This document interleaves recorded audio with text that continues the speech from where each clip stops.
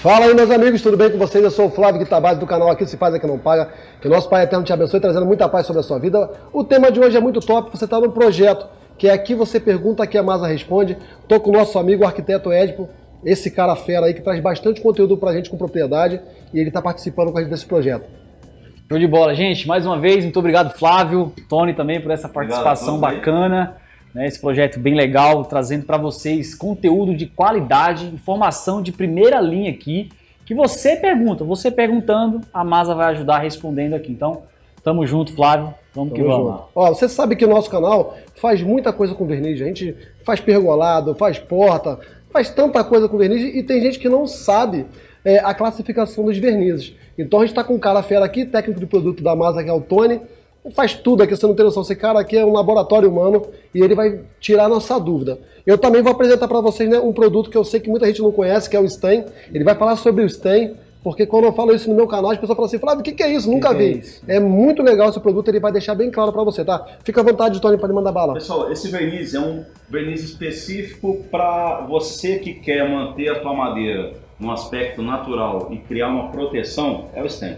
É, você vai aplicar, ele é de uso interno e externo, a madeira vai manter os, a sua característica natural ali, porém com hidrorrepelência, com resistência, né? ela, ela vai, ele vai controlar o poder de absorção dessa madeira, não vai penetrar a umidade e com a característica natural dela. Então a função do stem é essa, ele não forma filme. Isso. É isso aí, esse detalhe que a gente esquecer.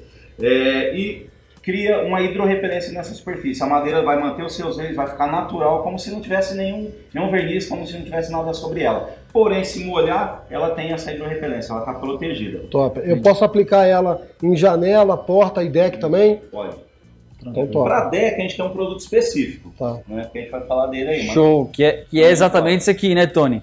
Isso. Verniz deck também é um produto que eu acho que eu, eu tava até estudando sobre esse produto aqui, um produto bem legal, o Tony vai até ajudar a gente aqui. Qual que é a diferença desse produto, Flávio? Ele tem uma resistência maior a tráfego, tem um filme hidrorrepelente. Sim. Quando a gente fala de deck, vai trafegar pessoas, né? Então vai ter um tráfego intenso, então tem que ter um produto com filme mais resistente.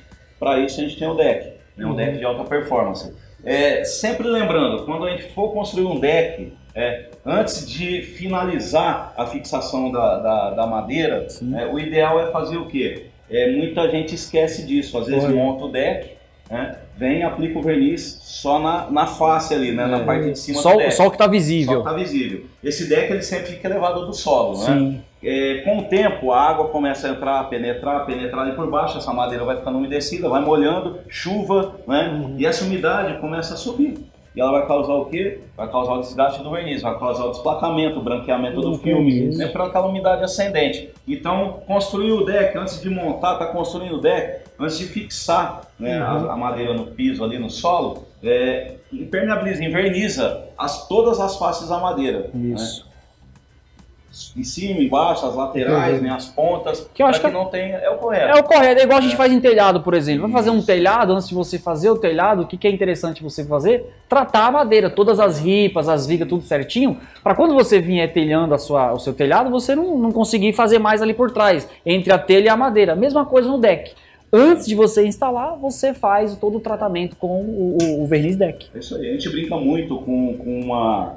É uma frase aí, né? Que tem algumas, algumas marcas, é, vamos falar de garantia, né? Tony, uhum. você dá quanto tempo de garantia nos seus produtos, né? Cada um tem a sua garantia específica, uhum, né? Sim. Como isso funciona? É, tem marcas que dão garantias elevadas, mas eles não, não, acabam não lendo ali as letrinhas miúdas, né? Eu brinco muito, eu falo, eu dou garantia eterna, mas por quê? É. Pô, desde que você a cada dois anos você passa uma demão, é assim que o pessoal faz, né? Então, não é? garantia do produto vai depender da manutenção que é normal, natural, né? Isso. né? Que dá nessa superfície. Tem que fazer. Então, a cada dois anos, três anos, vai lá, né? Refaz, dá mais uma passada, uma camada, uma renovada uma na renovada, Que é, o, que é o natural, né? Isso. Tem que se fazer isso aí. Deixa eu te fazer uma pergunta que eu acho que é muito coerente, porque a gente sabe que as piscinas têm né, tratamento de cloro, hum. é, e como é que esse produto reage é, relativo a isso? Flávio, é, usando o cloro específico, fazendo o tratamento da forma correta, é um produto ultra resistente, ele já ah, é para isso mesmo, então ele tem essa resistência, a resistência dele é tranquilo, ele vai durar lá dois, três anos, né, tranquilamente. Né? O que não pode é fazer um tratamento incorreto, exagerar na utilização do cloro. É, pegamos um caso aí, não referente nem referente a verniz, é, de uso de cloro doméstico né, na piscina. Então isso uhum. ataca né, é. a tinta, até um outro produto. Né? Então, fazendo o método de tratamento da piscina correto, Garantia total. Deixa eu só complementar também, fazer uma pergunta pro, pro Tony aqui também. Tony hoje está passando mal com a gente aqui. assim, a gente sabe que todo tipo de pintura que a gente vai fazer existe uma preparação.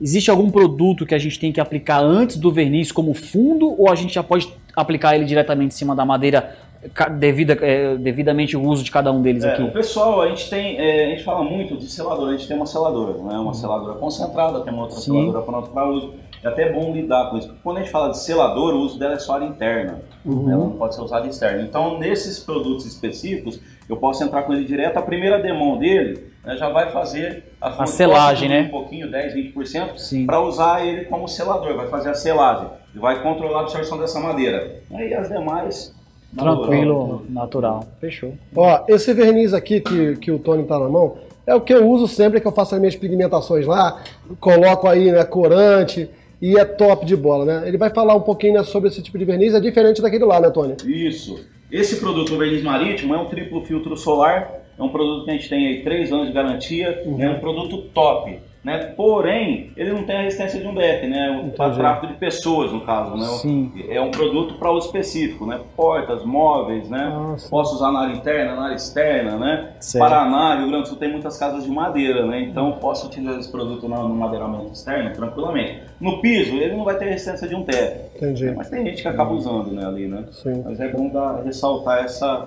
informação aí. É, a Masa tem essa linha completa para você decorar sua casa pintar suas portas, pintar sua janela. A última pergunta.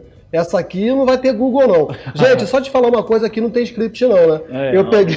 Não, nós pegamos o Tony e colocamos aqui, não tem. Então a gente fala, na verdade, é a dúvida que seguidor nosso tem, né, Edipo? Sim. É, do canal dele, do meu, do canal da minha esposa. E é isso. Essa linguagem aqui coloquial, não tem embromation, ele vai responder. É, o que, que eu posso diluir o verniz. Porque muita gente me fala, Flávio, eu estou usando thinner, né, para a gente finalizar, só para não sair do tema aqui do verniz, eu estou usando thinner, estou usando água raiz. E aí? É. Fala para gente. É, cada produto tem um diluente específico. Né? Uhum. É, no caso dos nossos produtos, a maioria dos vernizes, os nossos vernizes são, são com thinner, SM800. Né? E o único específico com água rasa. Então ah, entendi, tem, tem essa diferença. Né? Entendi. Então Show. tem Algumas marcas têm só um diluente, né? O nosso uhum. tem essa, esse diferencial. Ah, isso é top, hein? Então, aqui a gente não combinou isso não, é. né? Foi no estalo, né? É então, valeu, gente. Obrigado por tudo. Quero agradecer né, ao Tony. Se você tiver pergunta sobre verniz relativo à aplicação, deixa aqui que a gente vai fazer vídeo também de passo a passo vai ter no canal. Agradecer ao nosso amigo Edipo. A maneira de você abençoar o nosso projeto, é o que que é? É doando dinheiro? Não, né? Não precisa nada disso, né, Edipo? Não. É somente se inscrevendo no canal. Aqui se faz, aqui não paga é, Arc 7 Decorações, ela no que se faz, e nós temos, para você entender, todo o lançamento da Masa vai para o canal no YouTube da Masa. E nós temos um Instagram lá chamado né, Tintas Underline Masa.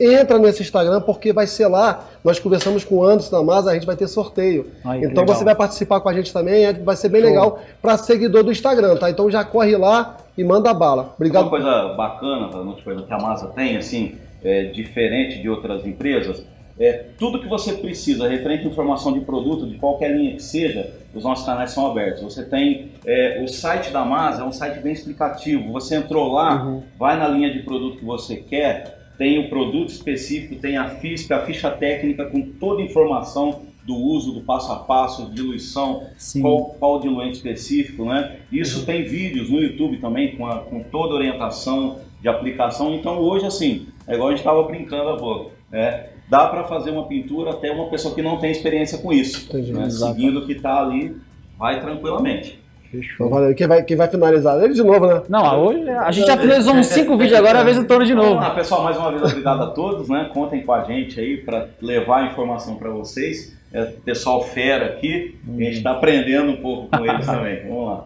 Obrigado. Um abraço. Tamo junto.